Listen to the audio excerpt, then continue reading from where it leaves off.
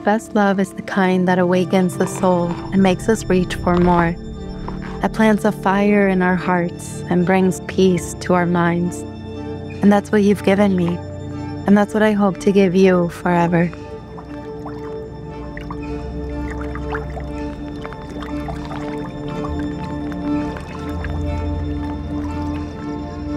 Cacao es una planta uh, medicinal, eh, como el nombre dice que es comida de los dioses, y trabaja mucho, primero trabaja para limpiar al cuerpo, el segundo trabajo que hace es purifica tanto como al cuerpo y al espíritu, y entra eh,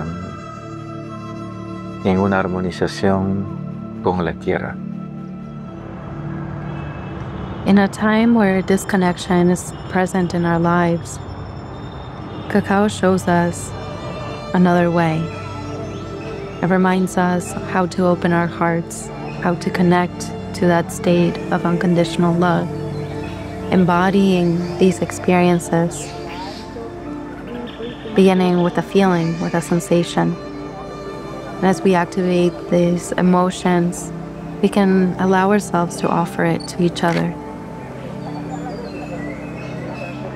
Cacao shows us how we connect to one another and to the earth, working with biodiversity, nature, and ourselves, guiding us to understand the interconnectivity between our well being and the well being of the planet.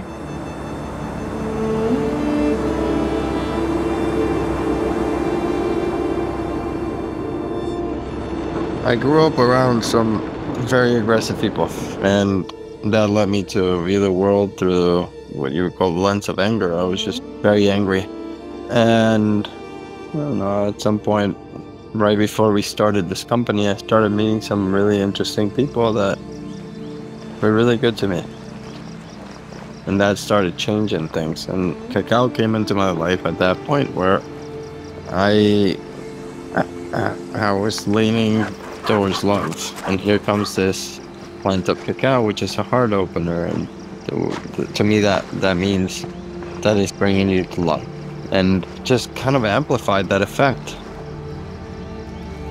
But cacao is at a crossroads, and the actions that we take now will dictate what we leave for our children. Due to extreme challenges the cacao industry and our farmers are facing in 2024, we decided to go visit our farmers and have a conversation to better understand what's really going on.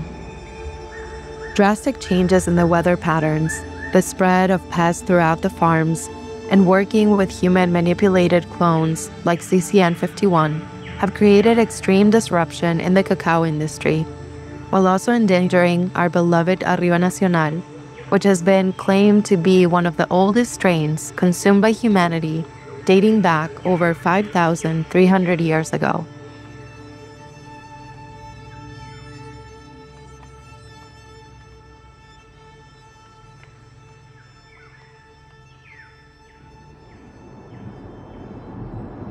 My brother and I joined Jaime in visiting another farm that was dealing with infestation and loss of crop. Mira lo que pasa. Hay diferencia y eso, el mal clima hace que caiga bonilla. Bien, nosotros, como me enseñaban antes, aparentemente tan buena. Que pulsé aquí. Oh, wow. Hay diferencia. Sí.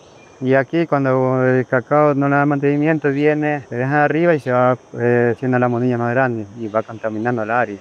Y por eso es constante mantenimiento. Esta es la bonilla. Y hay bastante aquí en esta finca que sí la puede mejorar con pequeño mantenimiento y por ¿Y eso es muy común? Eh, no tan común. En todas las fincas no, y a veces el clima te, te viene y, y hace hacer estas enfermedades que produzcan.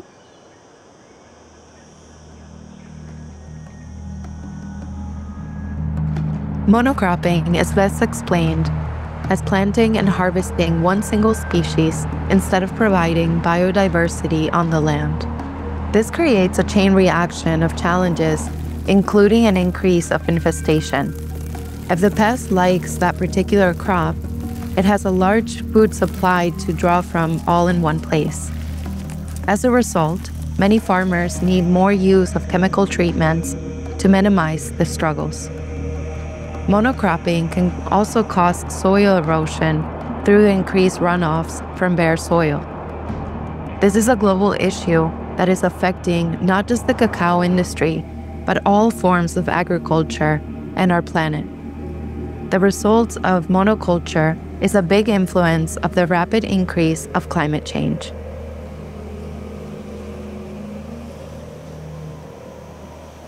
Segundo, Emilio García Tuare. Y así yo comencé a los 19 años a sembrar plantas. Yo desde que, desde que me empecé a, a sembrar cacao. Bueno, también sembrábamos café, sembramos el, el plátano, la papaya, todo lo que era beneficio para mí. Ya sembré, sembré esas plantas en antes el cacao era bastante. Los climas, me están afectando. El cacao era desde el tronco hasta las ramas, las ramas colgaban de cacao. Sí. Y ahí fue bajando la producción, fue bajando. Mm, me imagino que es el clima, la, Siempre a veces se los quema el cacao y vienen las heladas y se los quema. Y donde, donde los quedamos sin producción. Este año fue una de esas, cosa que hubo una helada y se, se quemó el cacao. Ahora en los últimos tiempos es más. Porque yo cuando siembro cacao, yo toda mi vida ha sido así. No he dejado de sembrar el plátano o el guineo, porque ese plátano me entra. La planta me sube, ella me está manteniendo, me está dando para el trabajo y para el sustento diario. ¿Y sus hijos están también en...? No, la generación aquí, la juventud va migrando, migrando. Not all cacao is created and tended to equally. The industry needs to regulate the value of cacao strains and the quality of farming, harvesting, fermenting, roasting, and all the necessary steps to attain the perfect bean. We need to prioritize what we value putting in our bodies and the planet. In the industry today, heirloom strains and human manipulated clones of cacao are being valued at the same price point. Would you consider a GMO cucumber the same as an organic cucumber grown in a farm free of pesticides and harmful chemicals? As globalization continues to evolve, many cacao farmers are left with no option but to move to these manipulated human clones like CCN 51, leaving behind the ancestral strains like Arriba Nacional, potentially making them nearly extinct. There is a huge difference between the aroma, taste, and purpose within the ecosystem between these heirloom strains and these newly introduced strains. So, how do we create this change? The ancestral ways might be the answer. Simplicity, biodiversity, working with heirloom strains, slowing down the overconsumption, and honoring what we value within and beyond cacao is crucial for this change.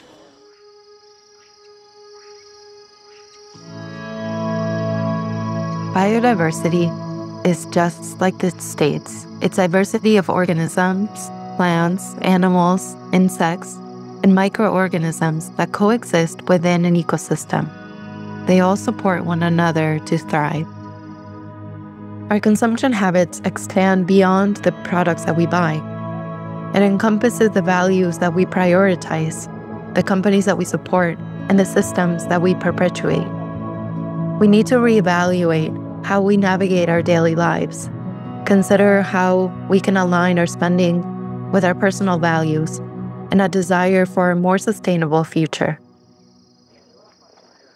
Cacao está cambiando la conciencia a mucha gente, pero hay un grupo de personas que no están despertando, que ellos siguen destruyendo a la tierra, siguen destruyendo a, los árboles y no se dan cuenta que cada árbol qué función tiene. Entonces, el cacao lo que está trabajando desde el centro de la vida de nosotros, está despertando que relacionar con una planta o trabajar con una planta. Hay que trabajar desde ese sentimiento de amor que da cacao, también paz, y que todo brilla, como todo es vida. Entonces desde ese espacio es lo que nosotros tenemos que ayudar a despertar a estas personas que no quieren despertar. Because underneath all of this is the real truth we have been avoiding. Climate change isn't an issue to add to the list of things to worry about, next to healthcare and taxes. It is a civilization wake up call, a powerful message spoken in the language of fires, floods, droughts, and extinctions, telling us that we need an entirely new economic model and a new way of sharing this planet, telling us that we need to evolve.